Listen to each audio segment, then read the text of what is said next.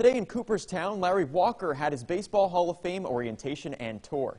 Walker played for the Utica Blue Sox of the New York Penn League back in 1985, and he's the first player to enter the Hall of Fame as a Colorado Rocky.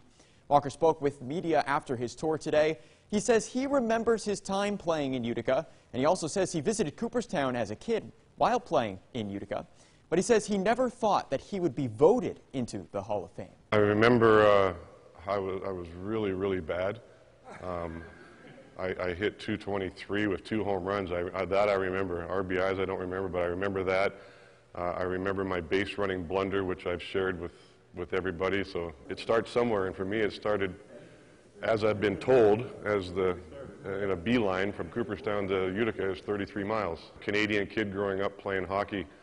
Uh, the Hall of Fame for me was the, the Hockey Hall of Fame. You know, it wasn't the Baseball Hall of Fame. But yeah, no, it uh, never entered my mind that I would be sitting here talking about me as a Hall of Famer, not once. Walker says he is overwhelmed with emotion and said he was trembling inside. And he says he started writing his induction speech. The Baseball Hall of Fame induction ceremony this year is on July 26th.